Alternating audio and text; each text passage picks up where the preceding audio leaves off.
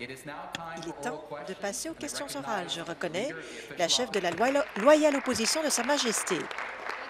Merci, Monsieur le Président. Ma première question ce matin s'adresse au Premier ministre. J'aimerais lui demander quelles sont les répercussions euh, de euh, ces compressions budgétaires dans une collectivité?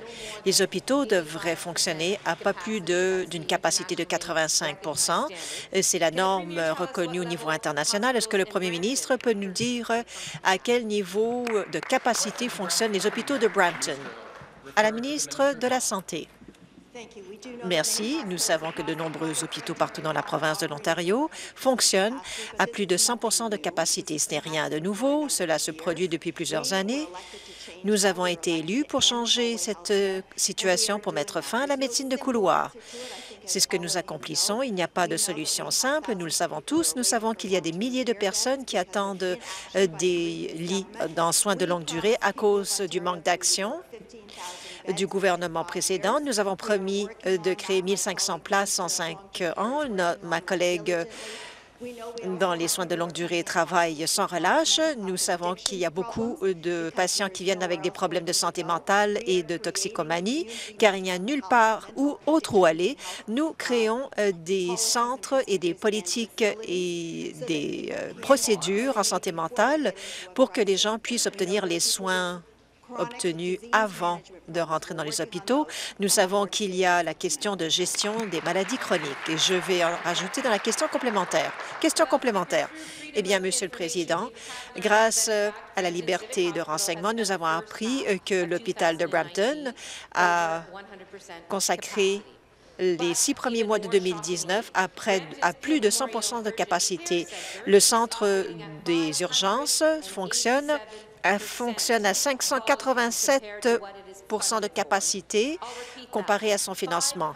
Je vais répéter le chiffre, à une capacité de 587% bien au-delà de son financement, ce qui signifie que chaque patient, pour chaque patient, cinq autres patients recherchent des soins à cet hôpital. Est-ce que le premier ministre croit que c'est acceptable, Monsieur le Président? À la ministre de la Santé, nous sommes au courant de ces faits. C'est inacceptable. Nous travaillons pour changer la situation. Nous avons été élus sur cette plateforme. Nous nous concentrons sur ces enjeux chaque jour. Nous avons augmenté le financement des hôpitaux. Nous savons qu'il y a encore du pain sur la planche. Nous avons offert 385 millions de dollars de plus en financement. C'est une augmentation de 2% Nous avons financé un autre 68 millions de dollars pour les petits et moyens hôpitaux à cause d'une formule inadéquate présentée par le gouvernement précédent. Nous changeons cette situation. Nous savons que les hôpitaux travaillent sous pression. Nous travaillons avec les associations hospitalières et les individus également. Ces changements ne se font pas en 24 heures, car ce problème existe depuis 15 ans avant notre élection. Nous sommes présents pour changer cela. Dernière complémentaire. Eh bien, Monsieur le Président, ce n'est pas une question de petits et moyens hôpitaux, mais j'ose vous dire que c'est une question de ce gouvernement euh, qui emprunte la même voie que les libéraux dans le sous-financement des hôpitaux dans de la province. Le centre de soins d'urgence à Brampton a été créé pour alléger l'hôpital sursaturé de Brampton, mais l'hôpital civique de Brampton a encore plus de patients dans les couloirs. Selon les documents de la liberté des renseignements, nous prouvent qu'il y a plus de patients dans les couloirs cette année par rapport à l'année dernière. Pourquoi est-ce que la médecine de couloir à Brampton s'aggrave avec ce premier ministre, la ministre de la Santé, nous savons qu'il y a de nombreux endroits en Ontario. Il y a de plus en plus de pression, car de plus en plus de personnes déménagent dans ces régions. C'est la raison pour laquelle nous nous penchons sur les infrastructures hospitalières. Nous allons investir 27 milliards de dollars de plus au cours, des dix prochaines années afin de créer des projets hospitaliers. Je sais que la chef de l'opposition officielle c'est que nous avons hérité euh, d'une situation désastreuse à cause du gouvernement précédent. Nous savons qu'il y a des besoins pour les patients dans la région de Brampton. Nous travaillons là-dessus. Ce n'est pas quelque chose que nous pouvons changer instantanément. il va en prendre plusieurs années pour trouver une solution au problème. Nous sommes au courant des pressions. Nous voulons nous assurer que les gens puissent obtenir les soins dont ils ont besoin dans leur collectivité, c'est-à-dire euh, nous voulons nous assurer d'avoir des soins de longue durée, d'avoir euh, des programmes de santé mentale et de toxicomanie. Nous travaillons là-dessus et nous allons diminuer le nombre de patients dans les couloirs. Prochaine question, encore une fois, la chef de l'opposition. Ma prochaine question s'adresse également au premier ministre. Les libéraux ont laissé les patients dans les couloirs. Et je peux vous dire que ce gouvernement les garde dans les couloirs. Ce n'est pas juste à Brampton euh, dont la situation s'aggrave. Il y a deux semaines, j'ai rencontré les travailleurs de première ligne à London qui ont été mis à pied car l'hôpital diminuer le nombre de lits pour faire face au manque de financement du gouvernement conservateur, tout comme avec le gouvernement libéral. Le premier ministre savait que les hôpitaux étaient sous-financés par les, libéraux pendant des années. Ce ministre de la Santé a répété la même situation avec mes premières questions, mes trois premières questions. Pourquoi est-ce que ce premier ministre continue à sous-financer les hôpitaux de la province? Les choses étaient mauvaises, mais elles sont encore, euh, elles se sont aggravées avec ce premier ministre. Question au premier ministre. Monsieur le Président, la chef de l'opposition, eh bien, il est ironique de constater, d'entendre dire ce qu'elle dit car ce parti a voté à 90% avec les libéraux pour détruire les soins de santé. Nous investissons, comme l'a mentionné la ministre de la Santé, un montant de 27 milliards de dollars dans l'infrastructure pour construire de nouveaux hôpitaux. À William Osler, il y avait des dizaines, dizaines de millions de dollars dans leur salle d'urgence il n'y a pas trop longtemps, avec un de nos très bons députés de Mississauga, qui a déjà été infirmière dans cette région, nous nous concentrons pour diminuer la médecine de couloir en ajoutant plus de 7 500 lits jusqu'à maintenant, des lits de soins de longue durée. Nous en promettons 15 000 et un autre 15 000 après, ce qui va alléger les pressions des hôpitaux. J'apprécie la question euh, de la chef d'en face. Question complémentaire. Ce qui est ironique, c'est qu'après cinq mois, le premier ministre n'a pas encore étudié le journal des débats pour voir ce qui s'est passé euh, les quatre dernières années avant qu'ils ont formé le gouvernement. Les patients attendent dans les hôpitaux. Ils ne sont pas leurrés, par la rhétorique du premier ministre alors qu'ils languissent dans les couloirs des hôpitaux. Les patients savent que le financement ne garde pas le rythme avec l'inflation et encore moins avec les besoins des patients. Ces patients savent qu'il y a des personnes qui attendent désespérément pour avoir un lit de soins de longue durée et les listes d'attente ont augmenté. La durée plus longue. Après un an, du gouvernement Ford. Est-ce que le premier ministre comprend que les compressions budgétaires et les mises à pied ne vont pas, ne vont pas régler la crise de la médecine de couloir? À la ministre de la Santé. À la ministre de la Santé, merci de votre question. Je pense qu'il faut vraiment examiner les faits. Nous investissons 1,3 million de dollars dans notre système de santé, bien plus que l'année dernière.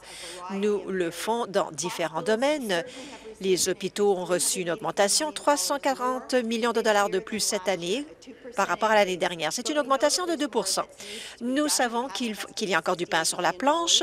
Nous avons investi 68 milliards de dollars dans les petits et moyens hôpitaux. Ce n'est peut-être pas important pour la chef de l'opposition, mais c'est important pour de nombreux hôpitaux et pour de nombreuses personnes dans la province de l'Ontario. Nous avons promis aux Ontariens euh, que nous allons créer plus de, lits de soins de longue durée, car cela contribue à la médecine de couloir. Nous avons promis 15 000 nouveaux lits en soins de longue durée sur une période de cinq ans. Nous avons déjà créé plus de 8 000 lits et nous les avons alignés et ces lits seront ajoutés au cours des prochaines années. cela ne se fait pas en 24 heures. Merci. À l'ordre.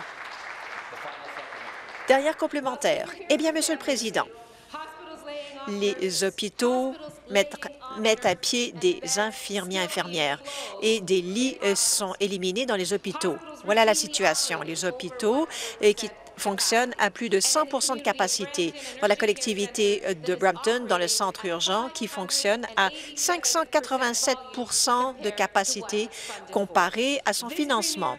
Ce premier ministre s'est engagé à mettre fin à la médecine de couloir, Monsieur le Président. Pourquoi? Est-ce qu'il aggrave la situation? Question à la ministre de la Santé. Merci, Monsieur le Président. À la chef de l'opposition officielle. Je suis certaine qu'elle sait que les hôpitaux sont des sociétés indépendantes et qui prennent leurs propres décisions en ce qui a trait à la dotation.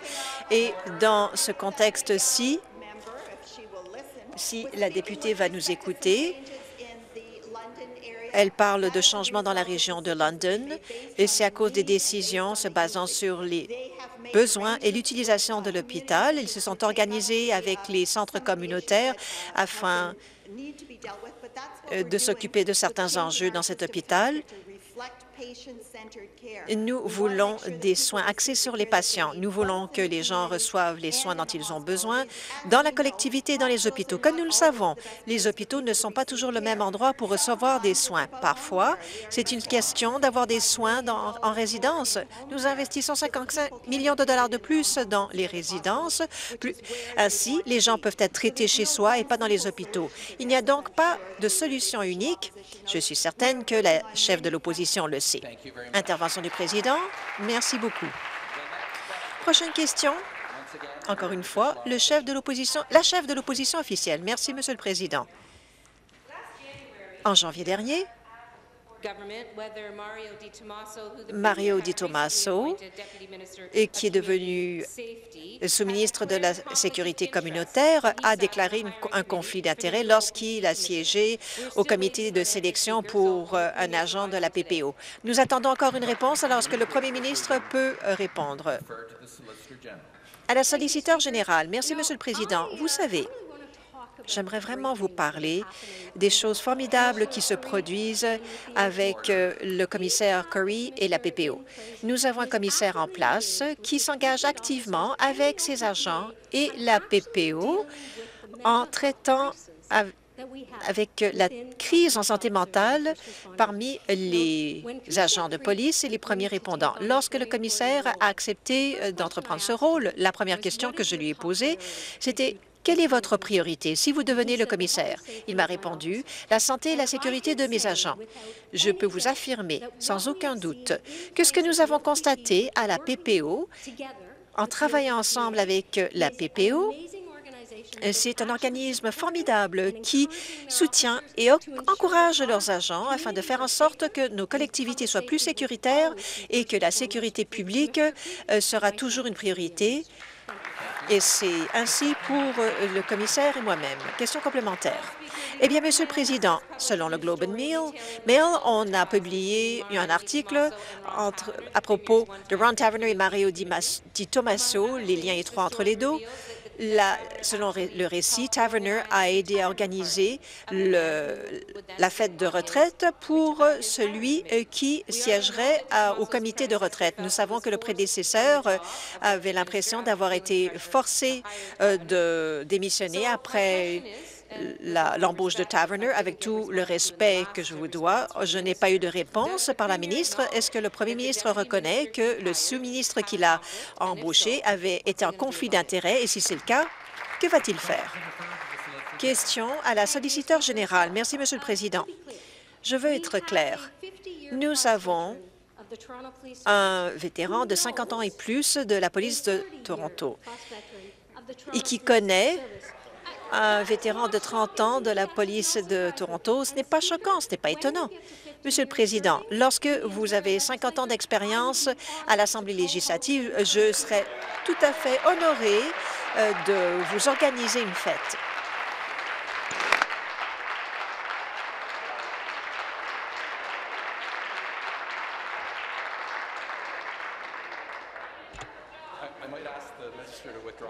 J'aimerais demander à la solliciteur générale de retirer ses propos. Blague à part. Prochaine question, député de Brampton-Brant. Merci, Monsieur le Président. Ma, question s'adresse à notre ministre de l'Énergie, du Développement du Nord et des Mines. Monsieur le Président, partout dans cette enceinte, tout le monde sait que l'Ontario est l'engin économique qui motive l'économie canadienne. Le capital financier existe ici, en Ontario. Et ce qui est encore plus impressionnant, c'est que notre province a la est la capitale des mines.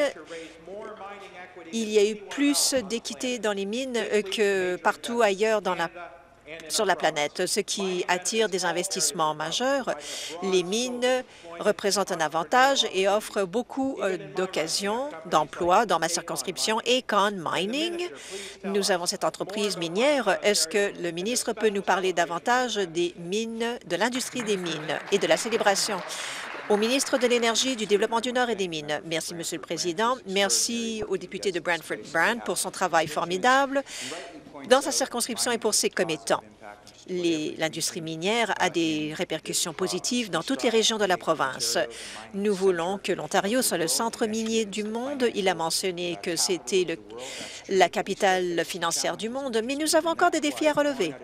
C'est la raison pour laquelle nous avons une tradition, rencontrer les mineurs, euh, qui aujourd'hui, le premier ministre, moi-même et plusieurs collègues ont décidé d'établir le groupe de travail des mines au bureau du premier ministre, le ministre de la Formation et le ministre de l'Environnement. Toutes ces personnes euh, vont faire partie d'un panel avec ces personnes afin de discuter des enjeux et des perspectives à venir. Euh, ce groupe de travail discute des questions uniques sur les activités minières et nous voulons nous assurer que la destination de l'industrie minière soit en Ontario. Merci, Monsieur le Président. Merci au ministre de sa réponse. Il fut un militant formidable dans l'industrie minière. Notre travail n'est qu'entamé maintenant. Nous aimerions remercier l'industrie minière pour votre présence aujourd'hui. Sachez que vous avez un allié dans notre gouvernement. Nous nous concentrons euh, pour créer de bons emplois dans le Nord. Le secteur minier est très important. Notre plan est euh, de diminuer les impôts, de diminuer la bureaucratie et de créer beaucoup d'emplois et de la prospérité euh, qui fera en sorte que l'Ontario sera un endroit concurrentiel dans le monde et un endroit où investir. Pouvez-vous nous parler de l'importance de l'industrie minière à l'économie de l'Ontario? Merci, Monsieur le Président. Depuis les 15 ou 16 derniers mois, nous avons travaillé activement euh, dans des occasions euh, minières clés il est triste de voir que depuis les 15 dernières années, l'activité minière euh, a ralenti de manière importante. Lorsque nous sommes arrivés au pouvoir, le premier ministre et moi, nous sommes allés dans la zone Sugar. Nous avons nous nous sommes penchés sur des questions de réglementation. J'ai récemment fait partie du Conseil. Nous avons célébré la première opération minière électrifiée. On vous dira clairement qu'on a fait bien plus pour les aider dans les questions de réglementation jusqu'à leur ouverture que ce qui a été accompli euh, depuis euh, avec le gouvernement précédent. Nous avons annoncer un corridor dans l'ouest de l'Ontario euh, pour y avoir des développements afin de soutenir les activités minières. De plus, Greenstone Gold Geraldton est un endroit où nous pourrions avoir une des meilleures occasions à saisir depuis très longtemps. C'est le centre de gravité pour le cercle de feu et toutes ces régions pourront en tirer profit. Nous avançons avec ces industries minières pour avoir un secteur qui va prospérer. Prochaine question, député de Davenport. Merci, Monsieur le Président. Cette question s'adresse au premier ministre. Monsieur le premier ministre, hier, il y a 50 enseignants mis à pied euh, dans les tribunes publiques, dont Lindsay. Lindsay est une enseignante de mathématiques et de sciences à Chatham qui a travaillé 12 ans à Barrie avec des affectations long terme sans travail permanent. Elle est, elle est nouvellement maman cette année.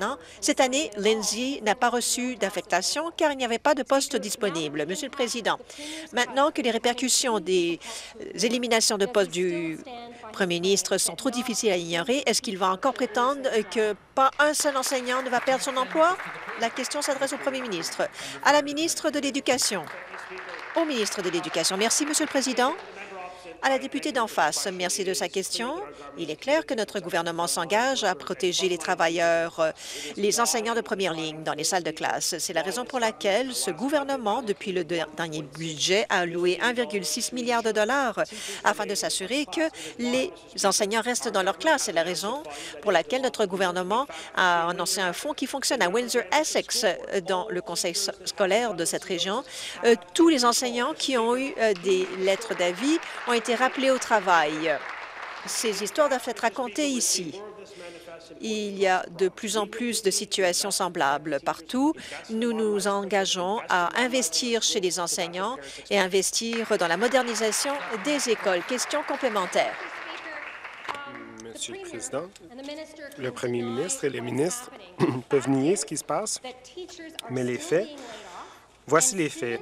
Les enseignants perdent leur emploi et les élèves ont à être dans de plus grandes classes.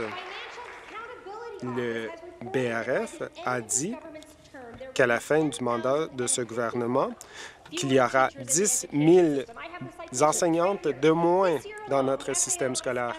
Le BRF estime qu'il y aura 957 élèves primaires de moins et 1 859 de moins au secondaire. Est-ce que le premier ministre pense que c'est une bonne chose où les enseignants ont de la difficulté à boucler leur fin de mois et que les élèves ont plus de difficultés en classe? Je voudrais vous rappeler de vous adresser à moi lorsque vous posez vos questions au ministre de l'Éducation. Monsieur le Président, notre gouvernement a créé un fonds de protection des enseignants pour assurer que les enseignants demeurent devant la salle de classe.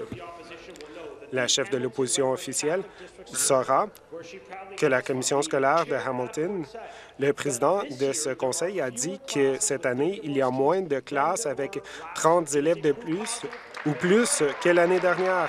Ça démontre que notre plan fonctionne. C'est un autre exemple que nos investissements dans les premières lignes euh, portent fruit. Nous investissons dans les écoles. Nous investissons de 200 millions de dollars pour assurer qu'on augmente les les résultats scolaires en mathématiques. On fait tout ce qu'on peut pour aider les élèves. Nouvelle question. Nouvelle question. Député d'Ottawa-Sud. Merci, Monsieur le Président. Ma question est au premier ministre. Premièrement, je voudrais féliciter le premier ministre sur un effort de tenter de euh, changer le ton ici dans cette Assemblée. Je pense qu'on l'accueille tous, ce changement. Ce que les Ontariens ont besoin de plus qu'un changement dans le ton, c'est un changement dans les priorités de ce gouvernement. Le gouvernement tente encore d'augmenter le nombre d'étudiants et d'élèves par enseignants et les listes d'attente continuent dans les hôpitaux. Et il tente de mettre de l'avant un plan pour l'environnement, tandis qu'il déchire un autre.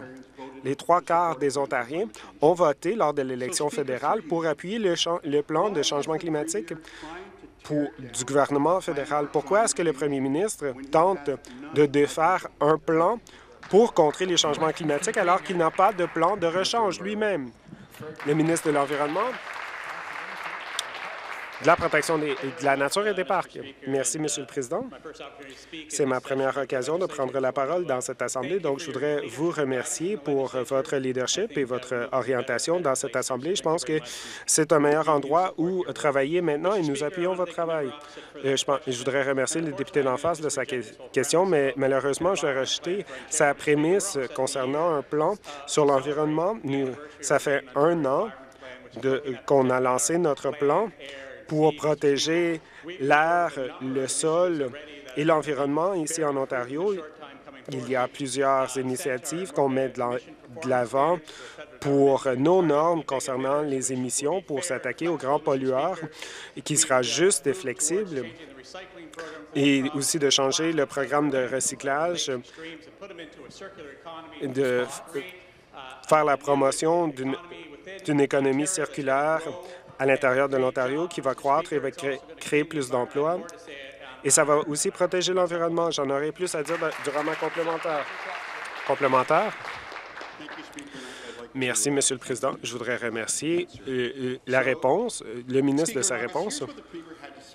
Voici ce que le premier ministre a dit au niveau de sa contestation judiciaire. Je cite, je vais laisser à la population décider. Je crois en la démocratie. Je respecte la démocratie. Ensuite, on passera à autre chose. Monsieur le Président, qu'est-ce qui a changé depuis ce temps-là? Ce gouvernement n'a aucun plan concernant les changements climatiques. Ils ne satisfont même pas aux cibles très faibles qu'ils ont imposées. Je suis d'accord avec le ministre de l'Éducation lorsqu'il dit que la prochaine génération mérite mieux. Donc, c'est ironique, même le, les collants du premier ministre tentent de lui envoyer un message. Est-ce que le premier ministre va s'engager à retirer sa contestation judiciaire et de travailler avec tous les députés pour établir un plan réaliste pour contrer les changements climatiques dans cette province? Ministre de l'Environnement, de la protection de la nature et des parcs, je voudrais remercier les députés d'en face de sa question. Le mois de juin dernier ou de l'année dernière, on a été élus pour défaire ce que les libéraux ont fait pour rendre la vie plus abordable. Mais ce qui est ironique, le député d'en face parle de l'environnement, mais il faisait partie d'un gouvernement qui a imposé aux municipalités de prendre des projets d'éoliennes dans nos municipalités, qui ont divisé les municipalités et qui a augmenté les tarifs d'électricité. C'est la dernière personne qui devrait parler de, la démocratie. Angus Reid, selon un sondage qu'ils ont fait, ça a démontré que plus de la moitié que la taxe sur le carbone devrait être annulée.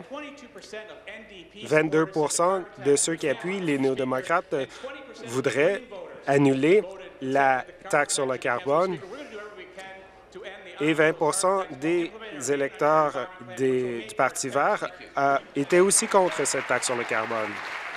Merci. Nouvelle question député de Milton. Merci, Monsieur le Président. Ma question est au ministre de l'Énergie, le développement du Nord et des mines. Monsieur le Président, tout le monde dans cette Chambre sait très bien que l'Ontario est le moteur économique de l'économie canadienne.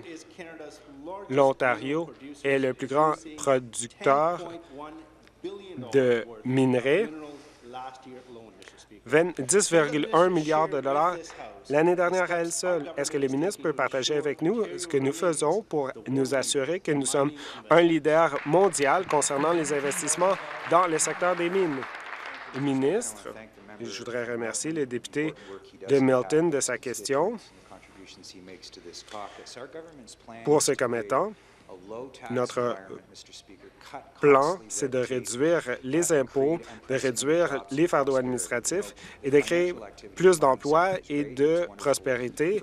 Le secteur d'activité, c'est une bonne chose dans le secteur minier, mais nous voulons faire la promotion de plus de 2000 mines et 72% d'entre eux sont en Ontario.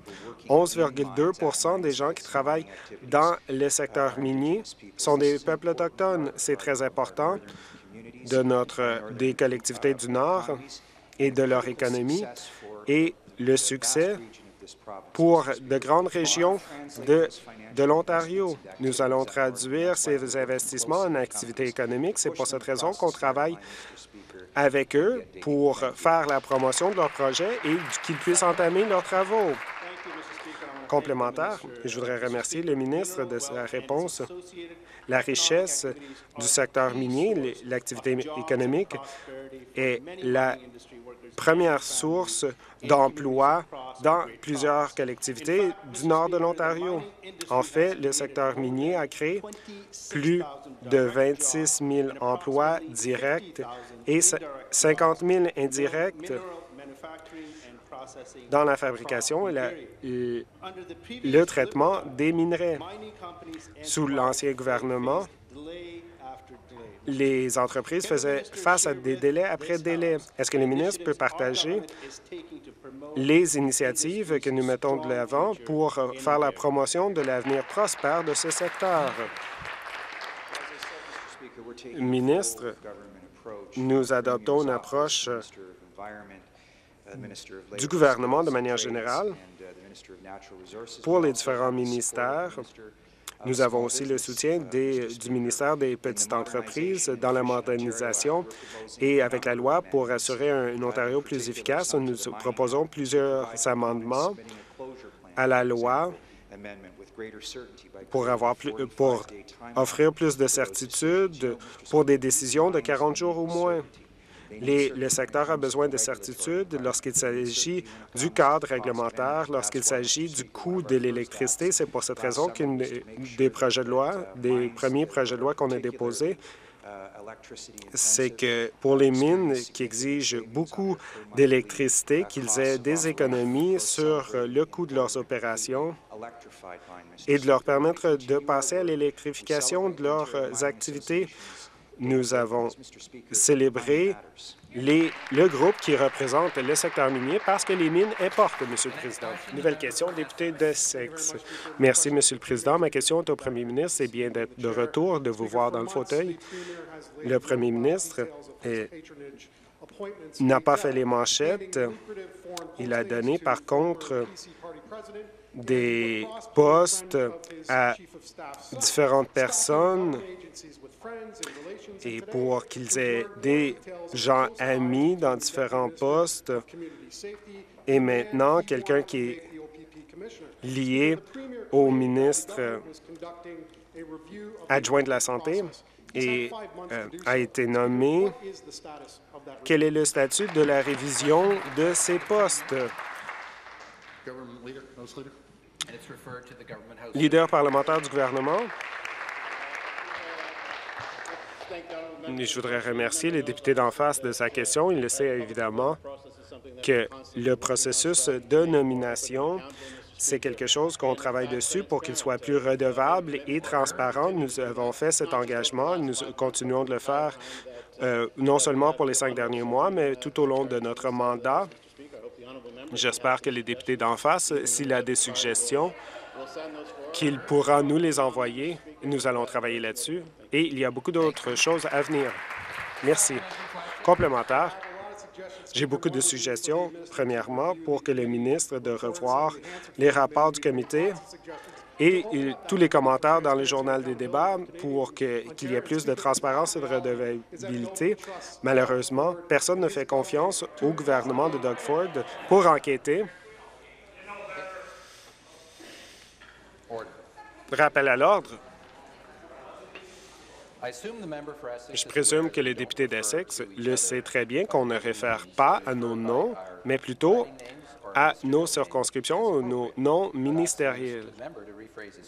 Je demandais au député de reformuler sa phrase.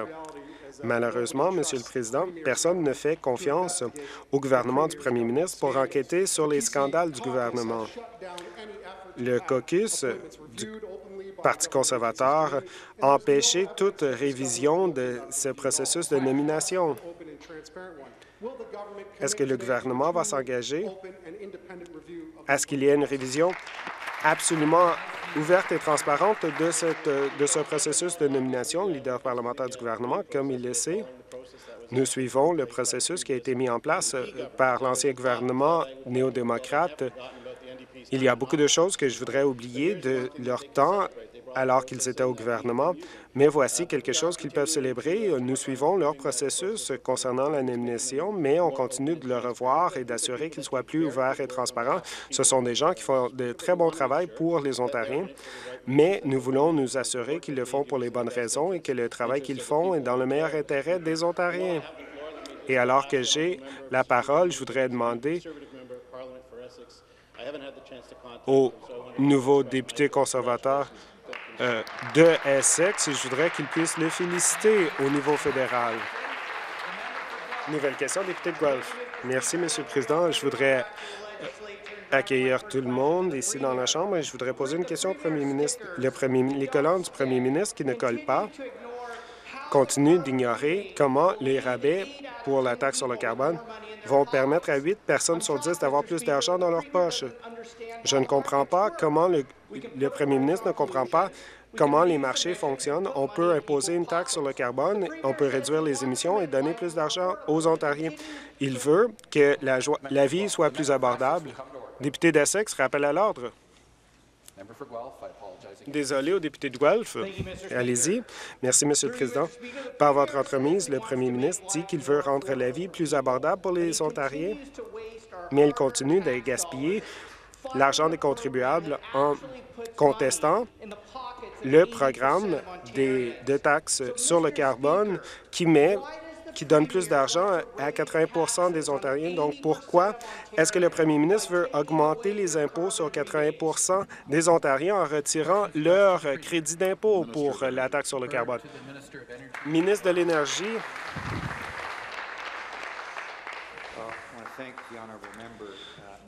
Je voudrais remercier le député de sa question et je voudrais attirer son attention sur le fait que, les, que le seul problème qu'on a avec les collants, c'est que le personnel du Parti libéral est en train de tenter de retirer les collants. Ils le savent parce que à chaque fois que quelqu'un fait le plein d'essence, les autobus ou les ambulances, les autobus à Kenora,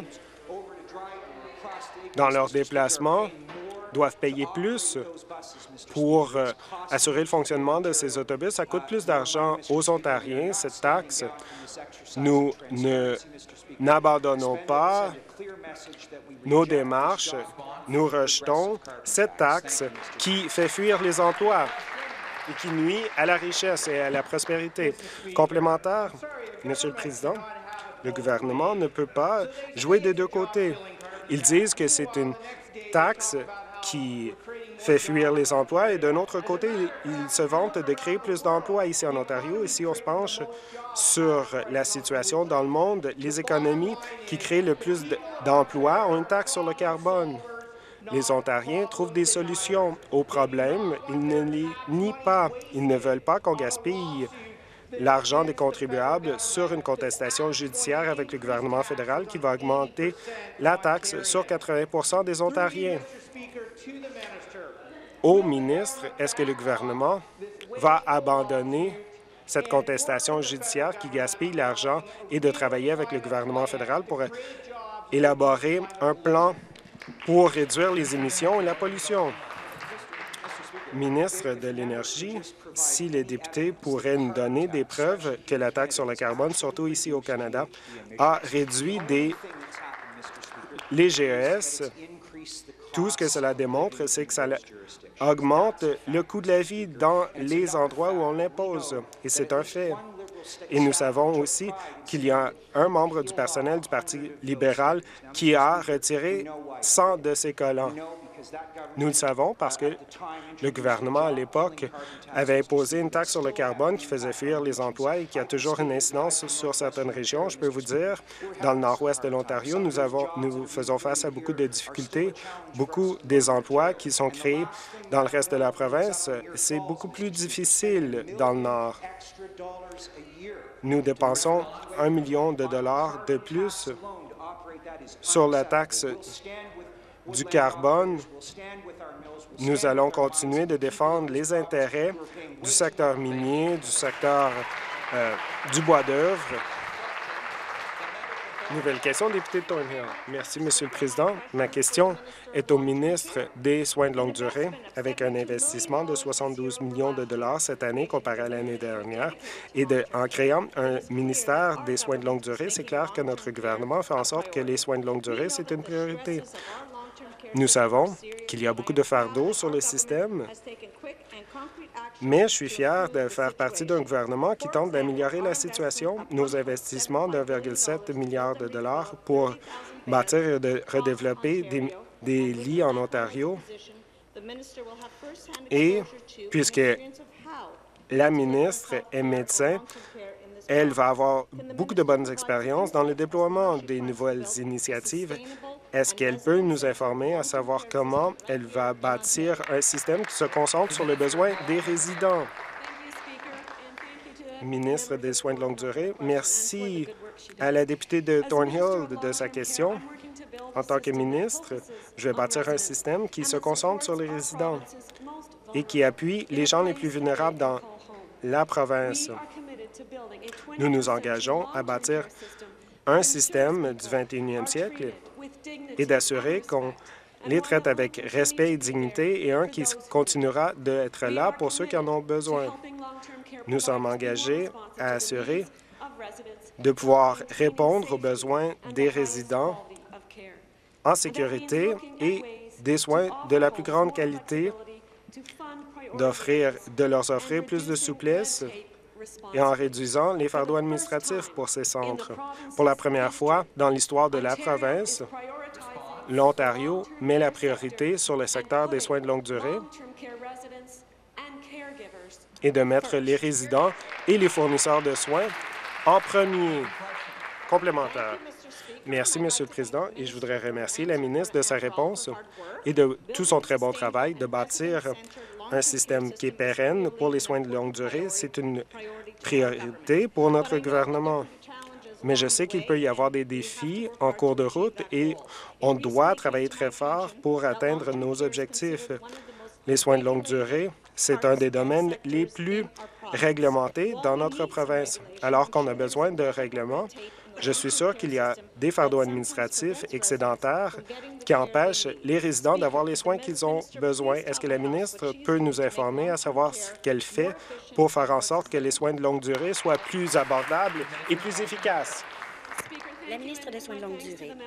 Merci. Je remercie la députée encore une fois pour sa question. Notre gouvernement reconnaît que parfois, on fait face à plus un grand fardeau administratif qui nous empêche de fournir de bons soins aux résidents. Nous travaillons afin de diminuer ces fardeaux administratifs afin de lancer les nouveaux projets pour que les résidents puissent obtenir des lits lorsqu'ils en ont besoin. Nous avons fait des changements avec le projet de loi 66 afin de moderniser le processus d'obtention de permis pour les foyers de soins de longue durée. Ce que nous espérons, c'est que nous diminuerons le fardeau pour tous les exploitants de ces foyers et que nous les aidions avec les problèmes à l'établissement de leur foyer. Nous nous engageons à ouvrir de nouveaux lits et nous nous engageons à ce que les listes d'attente prennent fin. Prochaine question, député de Kiwatinoon. Bonjour, Monsieur le Président. Au Premier ministre, la Première Nation Spirit of North Lake voit son, son infrastructure euh, être réduite en poussière. Ils doivent composer avec euh, un manque de services essentiels, par exemple l'électricité et l'eau potable. Ils ont des problèmes avec euh, différents tuyaux et des pompes. Monsieur le Président, on est en Ontario en 2019.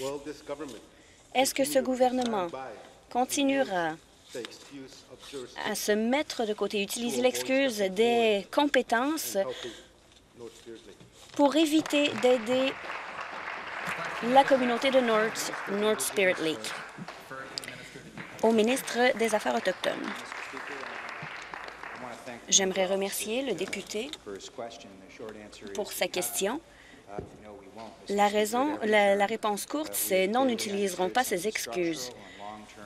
Nous travaillons sur ces problèmes de longue date auxquels font face les communautés autochtones éloignées.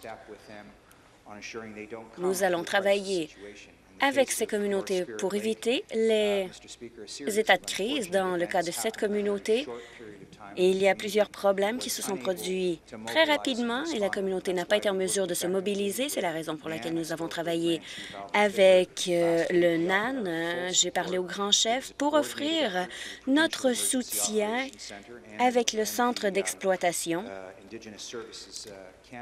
et avec Service autochtone Canada. Nous avons travaillé sur la sécurité publique et la structure de l'AQEDIC et nous continuerons à travailler avec eux de façon quotidienne alors qu'ils font face à cette période très difficile.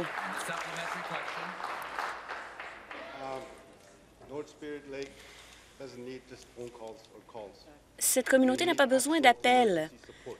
Elle a besoin d'un soutien d'urgence.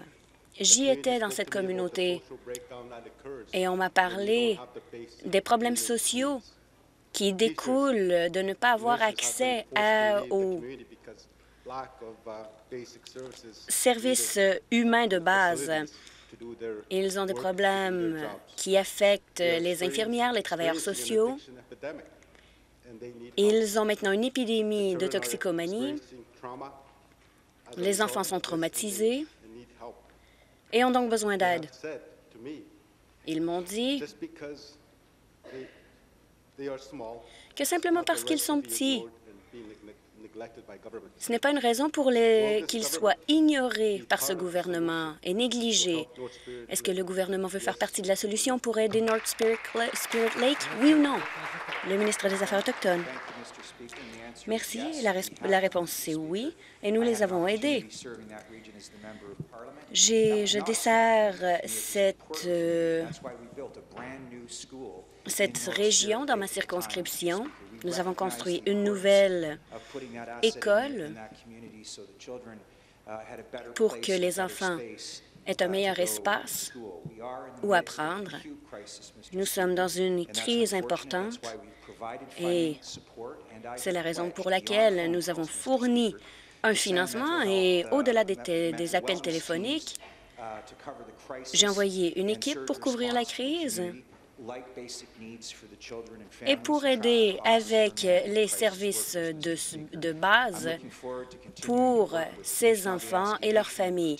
Je vais continuer à travailler avec la nation Anishinaabe-Aski pour nous assurer que nous travaillerons dans cette crise afin de passer au travers et de les aider à relever les défis auxquels ils font face. Merci. Prochaine question, député de Mississauga Centre. Merci à la ministre des Services de soins de longue durée. J'aimerais la féliciter de son nouveau portefeuille. Votre expertise en tant que fournisseur de soins desservira bien les Ontariens et Ontariennes. Nous connaissons la crise de la euh, médecine du couloir en Ontario. Des centaines d'Ontariens sont traités dans des dans des espaces clos, dans des placards, et la crise est très importante. Cette crise est la plus longue en Ontario et c'est l'héritage très triste qui nous a été laissé par le gouvernement libéral qui a ignoré ce secteur au cours de, leur, son mandat. Les régions de Peel, de Halton et tous les Ontariens ontariennes de la province ne devraient pas avoir à attendre pour obtenir les soins dont ils ont besoin. Est-ce que la ministre peut nous dire ce qu'elle fait afin de diminuer les listes d'attente pour les soins de longue durée dans la région de Peel. La ministre, j'aimerais remercier la députée de Mississauga pour euh, son travail dans la région de Peel. Elle a raison lorsqu'elle établit le fait que ce problème est très sérieux, tout particulièrement dans la région de Peel. Cet été, j'étais avec la députée de Brampton Sud et Brampton Ouest pour pour annoncer que Brampton obtiendrait 168 nouveaux lits en soins de longue durée et verrait le réaménagement de 280 des lits existants. La ministre, la députée de Mississauga s'est aussi joint à moi pour euh, annoncer que dans sa région, il y aurait 400 nouveaux lits et 275 nouveaux euh, lits existants réaménagés. Nous avons aussi un projet de partenariat avec les aînés. Ces lits feront une grande différence dans la région de Peel et diminueront les listes d'attente pour que les Ontariens et Ontariennes qui doivent être en soins de longue durée y soient et non pas à l'hôpital. Complémentaire. Merci. J'aimerais remercier la ministre pour sa réponse et pour le travail qu'elle fait dans ma région et pour les résidents de soins de longue durée à l'échelle de la province. Il y a de nouveaux projets qui iront de l'avant pour assurer que Mississauga-Brampton reçoivent les soins que les résidents de Brampton et de Mississauga reçoivent les soins dont ils ont besoin là où ils en ont besoin lorsqu'ils en ont besoin. Et je sais que nous aurons 15 000 nouveaux lits dans la province et que 15 000 lits existants seront réaménagés. Il faut agir immédiatement afin que nos plus vulnérables obtiennent les soins dont ils ont besoin maintenant et que les générations à venir y aient aussi accès. Que fera la ministre pour aller de l'avant avec cette création de lits et le réaménagement des lits que les Ontariens attendent depuis très longtemps? La ministre, j'aimerais remercier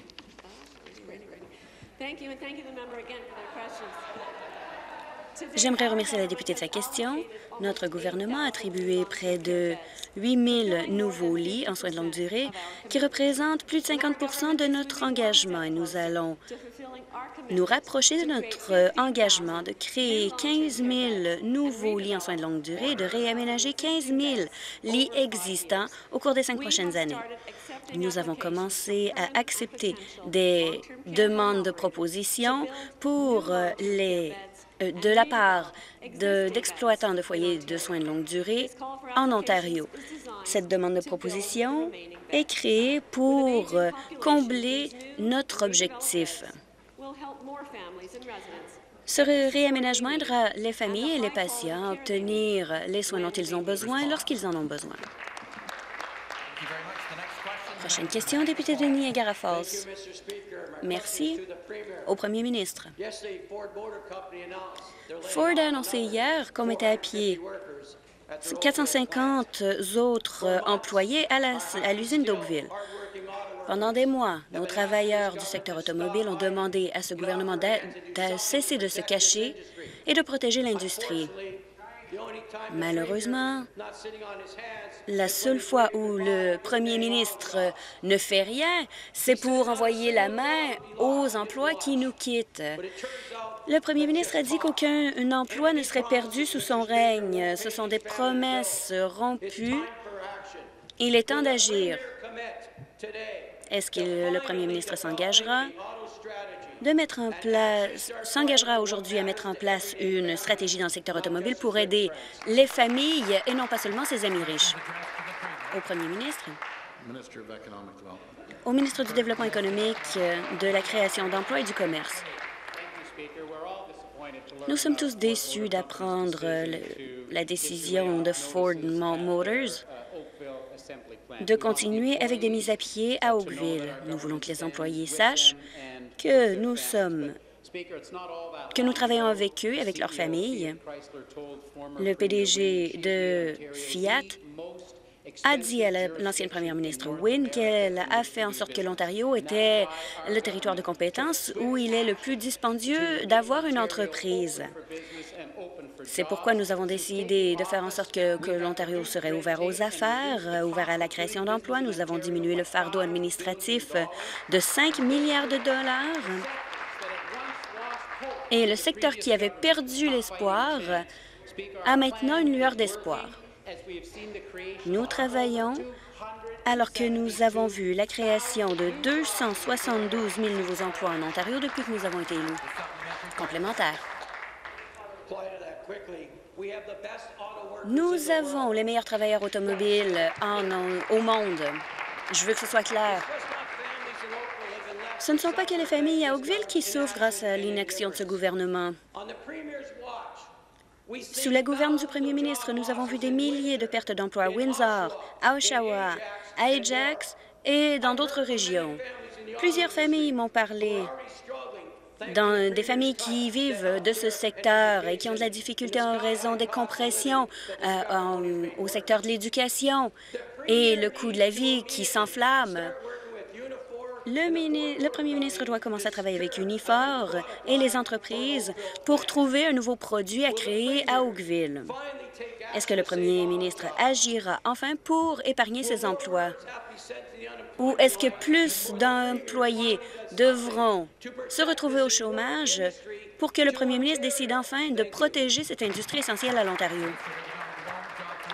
Le ministre du Développement économique, de la création d'emplois et du commerce.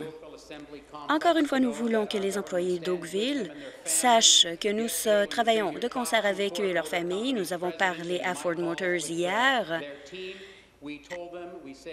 avec l'équipe du PDG, nous travaillons avec le ministère du, euh, Travail, de la formation et du développement des compétences. Et cette situation est exactement la raison pour laquelle nous avons un plan de 40 millions de dollars pour le secteur automobile.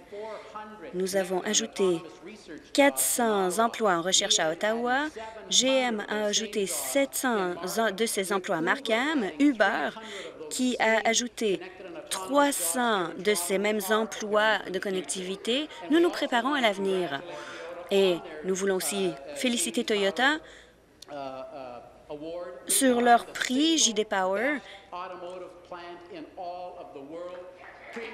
qui a félicité leur usine. Nous savons comment construire des automobiles ici en Ontario. Nous continuerons de le faire. Prochaine question, député d'Etobicoke Lakeshore. Merci.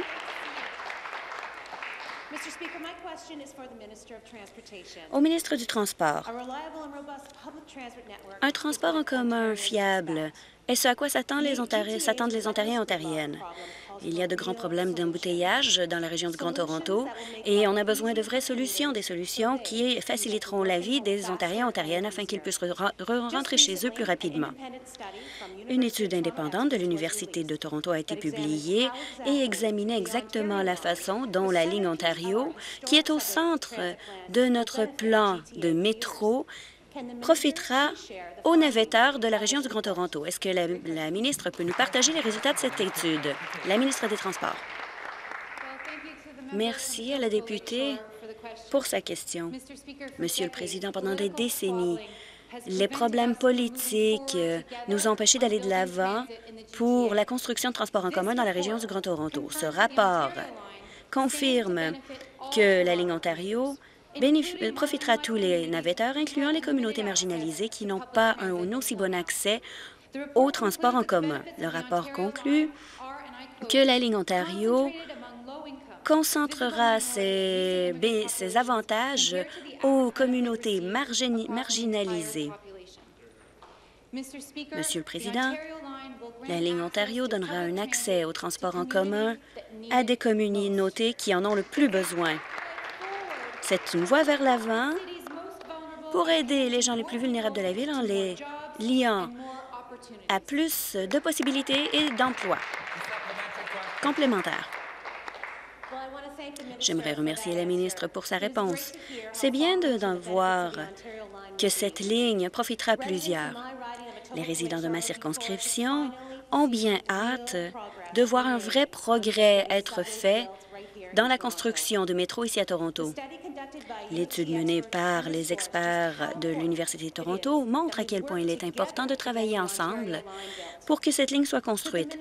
Est-ce que la ministre peut nous en dire plus sur cette ligne et ce qu'elle apportera aux navetteurs de l'Ontario? La ministre. Merci encore à la ministre, à la députée pour sa question. Nous avons mis de l'avant une proposition qui est appuyée par le maire, par euh, le personnel de la ville et par le gouvernement fédéral. Cette nouvelle ligne couvrira 15,5 km et créera un nouvel accès à l'échelle du centre-ville qui liera Ontario Place euh, jusqu'au Centre des sciences de l'Ontario. Elle profitera à toutes les tranches de la société. Les études le montrent. Le rapport a dit que les gens à revenus faibles verront moins, une diminution plutôt de leur temps de navette. Cette ligne est un projet prioritaire qui sera bon pour Toronto, bon pour la région et bon pour la province. Aujourd'hui, je demande à tous les députés de cette Chambre de se joindre à nous et à la Ville de Toronto pour appuyer nos efforts de construire le transport en commun dans la région du Grand Toronto. Prochaine question. Député de Kitchener Centre. Merci, Monsieur le Président. Au Premier ministre, cet été, le groupe parlementaire noir des néo-démocrates s'est réuni où nous avons entendu encore et encore que l'insécurité alimentaire affectait la communauté noire de façon disproportionnée. La semaine dernière, une étude publiée par FoodShare l'a confirmé. 28% des Canadiens noirs souffriront de la faim, plus qu'en comparaison avec 10% pour les Canadiens blancs. Pourtant, le gouvernement ne s'est pas engagé à avoir une stratégie contre le racisme. Et ma question est donc, que ferez-vous pour vous attaquer à cette crise? À la solliciteur générale. La direction antiracisme fait un excellent travail, a de bons projets. Nous travaillons avec eux sur le rapport que connaît très bien la députée de l'autre côté. Il y a des projets qui seront lancés au cours des prochains mois. Nous sommes fiers du travail que l'on fait et je crois, avec tout le respect que je lui dois, que la députée de l'autre côté ne comprend pas bien le rôle de la direction antiracisme et le fait qu'elle continue de suggérer que ces personnes qui travaillent euh, à la direction ne font rien depuis les derniers mois est fallacieux et hypocrite. Je retire mes propos. Complémentaire. Le racisme n'est pas un problème abstrait. Le racisme fait en sorte que les Ontariens ont faim. Ça, je comprends. Lorsque les compressions conservatrices font en sorte que la population a de la, ont de la difficulté à joindre les deux bouts. Ce sont les familles noires qui sont affectées le plus. Ça signifie que les enfants noirs vont à l'école sans avoir mangé, que les parents noirs ont de la difficulté à payer leurs factures d'électricité ou leurs épiceries. Et maintenant, on a des données qui le prouvent. Je demande donc encore une fois au premier ministre, quand est-ce que ce, premier, que ce gouvernement commencera à recueillir et à analyser des données basées sur les races?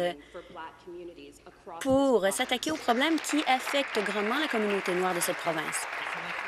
À la solliciteur générale, merci. Je crois qu'on est d'accord sur ce fait.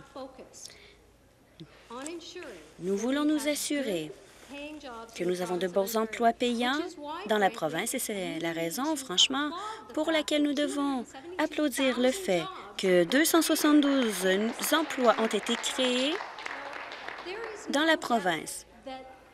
Il ne fait aucun doute que lorsque les familles font face à des frais supplémentaires comme la taxe sur le carbone et sur l'essence, ça a un impact sur leur capacité de s'occuper de leurs enfants.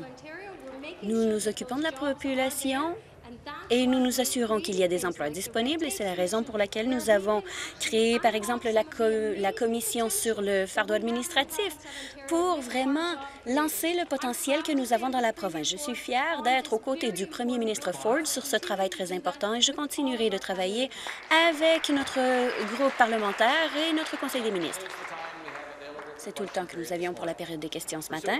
Conformément au règlement 38A, la députée de Davenport a fait part de son insatisfaction à la réponse euh, donnée par le ministre de l'Éducation à sa question. Nous débattrons cette question ce soir à 18 heures. Selon le même règlement, le député d'Ottawa-Sud a fait part de son insatisfaction à sa question donnée par le ministre de l'Environnement concernant la taxe sur le carbone, nous en débattrons ce soir à 18 heures. Il n'y a pas de mise aux voix différée. Nous sommes en pause jusqu'à 15 heures.